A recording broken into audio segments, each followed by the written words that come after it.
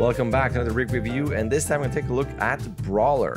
Brawler is a rig by built by Colossus. You can see here $15. You can go into their website, link in the description with all the information they have. Also other rigs. I reviewed the Ninja rig, and next up will be the Lizard rig as well. Of course, this will be posted on my Animation Buffet site, where you can find all kinds of reviews and just rigs that are posted without reviews. So if you have anything that you want me to look at, post, and or review, send me an email and I will take a look at it. And of course, you will find all of these on my animation channel here, where you can find acting analysis clips, animation analysis clips, all kinds of things. So browse around. If there's anything you like, feel free to subscribe and hit that bell button. All right.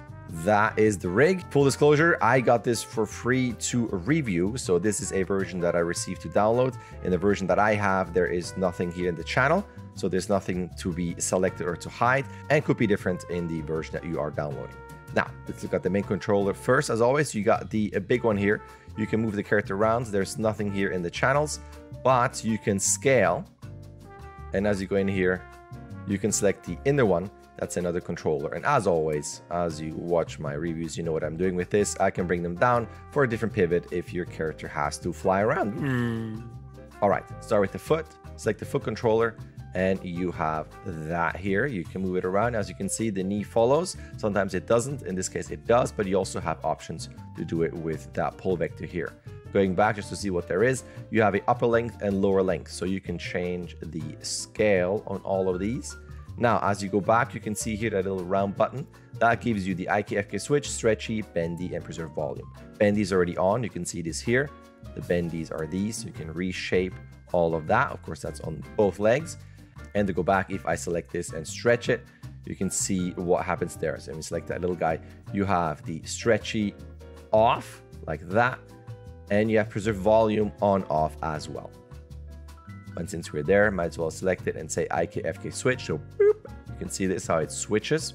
Let me go like that. You can see it better. You can see the little toggle there. It's tiny, tiny, but you can see here in the color. And as I select this, you get your classic FK legs. You got to go in there so you're not selecting the bendy. There you go. That's for that. And of course, your foot controller. Zooming in, you have this controller here. You can see that is for this rotation in all kinds of axes, of course. Then you have one more that does all of this. Let me just double check, nope, no scale. And then you got your pivot off of here. And of course, all kinds of pivots here for that. And if you select this one, you also have Footmaster that does all the banking for you, which is really cool. Let's go this way. It gives you the foot roll as well. And if you do the foot roll here, you have your Z multiplier and X. So this depending on what axis you go, but you can see this in Z, how it changes the limits. That is that for the foot. Like I said, you got your bendies here. Then you have this for your pants. This goes all around. Then you also have one here. So you can change that around. This is of course on both sides. Then as we go up here, we go to this lower one. That is your hip. Kind of scrunches the geometry there, watch out. How you have that in all axes. Of course, you can translate, and actually you can, no, you cannot scale. then the yellow one, this is the root FK spine. So you can select this. And you can, of course, go up and select all of them. And ah, it does that. Going in here, these are usual shapers for the hips or hip clavicles, which is not accurate, but that's what I'm going to call them. Then you have your root, so you can move that guy around here. You have an offset control. You turn that on. You can see this again here. Beep, beep. So then you have multiple controls, which is cool. And just like with the foot, you got a control here, and that is the IKFK switch. So now it switches to that. And then you have your hips like this, with to me slightly better transformations there. Ooh, but you can do this dance man. Then you have this here, and you can translate or reshape. If you rotate, this happens. And then you got your upper chest box like that, which I'm personally a bigger fan of than all those tiny controllers on a spine. And that's very cool. Now, going up here, you have shoulders. So you can rotate it like this, but you can also translate. Now, this is in FK mode. So let me just switch here to IK FK switch just to see if that is there. And was kind of looking at for rigs. No, there's no auto clavicle and there's nothing in the channels, just to let you know. And if you select the shoulder here, there's nothing, you just have these. But going down here, you got your bendies, bendies, Again, you got a control here. So this is your elbow pin. Yeah, yeah. And actually, speaking of which, I missed it here. Bam, knee pin. And also you have spaces, right? So you have foot on off and world on off. So when you grab this foot, let's show this here. You can go back and you select your here foot, say off. So now when you turn this around, you can see that it does not have any effect here. So you can turn this on and off. The same thing for the world. So you can turn that on off and you can see here if I turn the foot around, then you can have, go back to foot here. You can see the changes here, how it affects the controller. So these are your switches. But going back up here, again, these are for your arms. So you got your elbow pin, same thing, local and world switches. Then you got this guy here with this around. That is your almost Ninja Turtles shredder thing. Don't know. reminds me of Ninja Turtles. But you got your bendy, even though this is a hard surface. It's always cool to be able to deform things. Then you got your arm control, and this is currently selected as an IK controller. So again, you can pull this around here. And then as you go back, let me just show you here, this one you will have stretchiness, yes or no. The bendies are on. Preserve volume, yes or no. There's an auto twist. So actually, hold on, let me just go back here. And let's go back in here and you can see this also on that controller. You got an auto twist. So if I take that and rotate around, you can see how it deforms this. You can see auto twist beep on off. So if it's off and you rotate around, it's just that. So this stays really true to its hard surface properties. That's very cool. Then of course, selecting this, you got your upper and lower length, all of that as well. There's a wrist roll. That's cool too. So when you have your hand on the table or something and you can do that, I think that's very cool. I haven't really seen a rig that does that. I like it. And going back to here, you have also IK for fingers. Yeah, yeah. Just in case. I think that's very cool. Bring these back. And then you have chest and world space. So I can rotate this around. So despite this being IK, arm goes with it, which is always cool.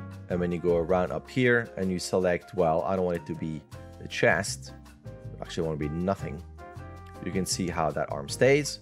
So it stays put where the world is, and you say world off and chest on. Again, you select this, and it's going to stay within the chest orientation. All very cool. These are space switches. Someone asked me to elaborate on what space switches are. There you go. Of course, fingers, you can select these separately. So I can select this, this, and this, and it has all rotations. Ah, we are here though, and it gives you, just like with the foot, some options. This is a immediate rotation for all fingers, and you can go in all axes. So this way, it's actually just the fingers. This is also the thumb, and this way is also just the fingers. This reminds me of some animation, I can't remember. You have a thumb follow, yes or no. So when I do this, it will not do anything on the thumbs. So this is your thumb follow. You also have scale for a spreading. So interesting control. Unusual to see it done like that, but I think it's fairly effective. I like it. You have also here, not to forget, you can see them here. You got your controls for the base here, and then you have the IK wrist sub control. What would be awesome, and this is what I'm hoping that every rig does, is that when you select this and you move that around, that your wrist does not stay put. So there's a FK wrist option while the arm is in IK mode. That would be awesome. All right, of course, arms, this is on both sides. And since this has this here on both sides, yes, it will be here as well. Let's go up here to the details. Maybe I should have them lean less. All right, the head portion here, we got the lower neck. You can see that moves the pivot fairly low. Then you can go one up and there you go. It moves it like that. Still takes a lot of that muscle geometry with it. Womp, womp, womp. And then there's one here. And that gives you this control. And then there's one here, another one. And this one has the chest and world space options here. Go up here. That gives you control visibility on everything here. Face control on off. Geometry on off. Joint visibility, which I'm not needed Lock the geometry. Ah, beep, there you go. And now you can select it. Beep. And then proxy geometry on or off to make things lighter. Very cool. Lots of cool options. Now, if I select this here, that's your squash and stretch. My first instinct was to select this for the head, but no, no, no. So when you look at this is your head control. You have all those options here, but just in case, you have this for your squash and stretch. You have a bottom version. This is for your jaw and you have all these here so you got your jaw opening like that this is your mouth like this. And don't forget in the channels, you got your lift control. Let's get closer here. Then you got your corners of your mouth to quickly block out things like that. This is no translate, this is rotation. Only, there you go. This is your cheek, only in one axis here, of course, on both sides. This is your inner nose and also scale. And this is your outer nose that takes the whole thing, also scale. Then you have, these are your eyes, not anything in the middle. These are actually your eyes to move both. This one will move the eye socket and this one will move just the eye here. You got some scaling options as well. This is for your pupil. On the outside here, you got your eyelids. This isn't on the outside of the face. These are the lids. So you can open, close it like that, obviously on both sides. That is the overall eyebrow. And then you got, of course, one, two, and three to move these separately as well. This main controller here just moves the main controller. this doesn't do anything with the face. But let's go in here. So let's go, why not? Let's go here. Eyes, you can move them like that. Also, space switches here. And then, of course, separate eye controllers to move them like that. Let's go in here though. Select this, and you got your jaw control like that. Let's go here. This one will move the whole mouth around and this will be the upper lip and this will be the lower lip. Let's open the jaw quickly. Why? So you can see this here. So that will be your teeth. Can move this around. Can you scale? You can, just in case. And then in here, you have your tongue controls. So you can do that. Of course, here are your separate controllers. Whoa, that's me. There you go. It takes it all like that. That's me moving things a bit too crazy here. Anyway, you have it like that. And then you can go out here and that for additional movers. It's all very detailed here for extra skin deformation, which is cool. Same thing here. And then if you want to do any shape changes, again, you can do this all here. It's very cool. There's one more control here. This is the jaw inverse. So this is ah, do something like this. It's kind of cool. Can you scale? No. No, this is just purely rotation. Now, looking back here, you never know. Anything on the back, there is nothing on the back.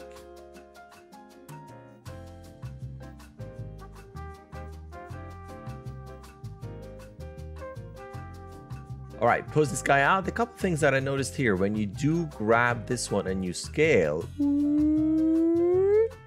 you scale this up and down you can see this little pops there in the knee. Watch out if that does anything when you animate. But the main thing is ah, ah the ears, the ears, they scale up as well. So it's all the way back down. This is back to one and the scale the ears are fine also to mention they do have controls this is why you can move your ears but when you scale them up watch out for that other than that, it's very quick to pose out. I'm a big fan of this here where you can quickly pose out your hand and do a little fine control with these. And I'm also a big fan of that, just to quickly move your the mouth around just for quick posing.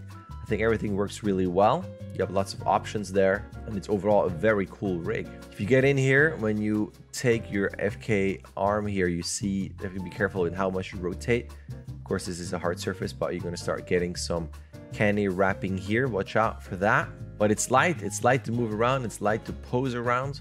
And I think that concludes my overview of this rig. And of course, this review will be posted on my channel. Feel free to subscribe and hit that bell button so you don't miss any of my uploads. I do all kinds of things, not just rig reviews. So if you want to see more like animation analysis clips, acting analysis clips, product reviews, animation minutes, all kinds of things that I post on there, feel free to do so. Other than that, thank you for your patience and watching this until the very end. And I will see you in my. Hold on. I will see you in my next clip. It's actually cool when you push up here that it compresses the lips here too. Anyway, I will see you in my next clip.